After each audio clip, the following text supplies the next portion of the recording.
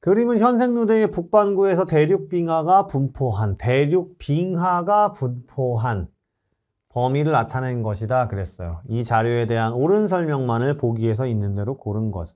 아무래도 빙하가 지금 보시면 나 저위도까지 저위도까지 빙하가 이렇게 진출했다라는 건 지구가 좀 추웠다는 얘기겠네요.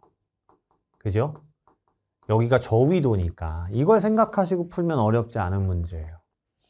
자, 지구의 평균 기온은 3억 년 전이 지금 3억 년 전이면 여기입니다. 그렇죠?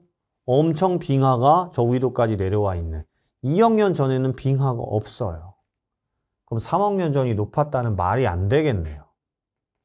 니은 공룡이 멸종한 시기에 중생대 말입니다. 그러면 2억 5천만 년부터 6,500만 년 정도까지가 중생대니까 요 정도겠네요.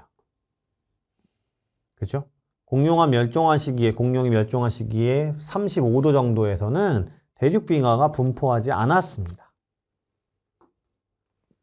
디귿 평균 해수면의 높이는 자 평균 해수면의 높이가 높다라는 건 지구가 따뜻했을 때 그쵸 지구가 따뜻해야 해수도 열팽창을 할 거고 빙하도 녹을 거고 하니까 해수면의 높이가 높아지겠죠 백악기 중생대입니다 2억 5천만 년부터 6,500만 년 정도까지니까 여기 어딘갈 텐데 이때는 지금 빙하가 거의 내려온 게 없으니까 백악기가 훨씬 더 따뜻했을 거고요.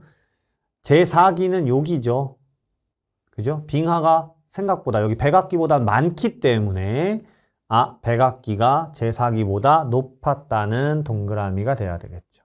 답은 디귿 2번입니다.